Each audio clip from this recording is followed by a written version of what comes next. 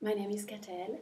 I'm a modern nomad and eco designer, and all I have can be fitted into four trunks. I have four bicycles one in Amsterdam, one in Berlin, one in India, and one in Italy.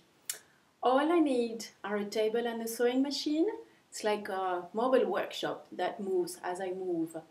Change, yoga mat, and meditation are my constant companions. And I have just published a book the freedom of having nothing, uh, to share my journey from my native Bretagne, the western part of France, to developing eco design around the world.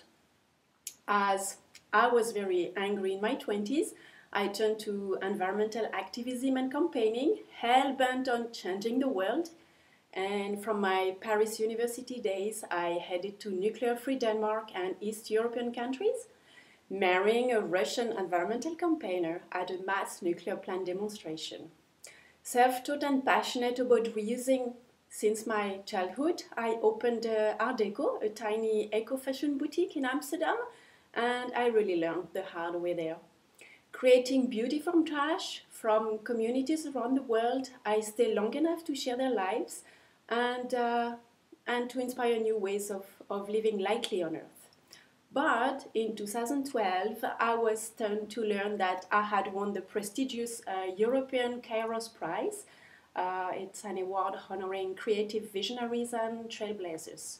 So I have written this book to share a personal and yet so universal story that has the strength to empower people to live and work in a more conscious way and also to inspire people to live their lives with courage and passion. After you've read the book, you will never look at the world the same way again. So get your copy now. It's available on Amazon as a Kindle ebook or as a paperback. Bonne lecture!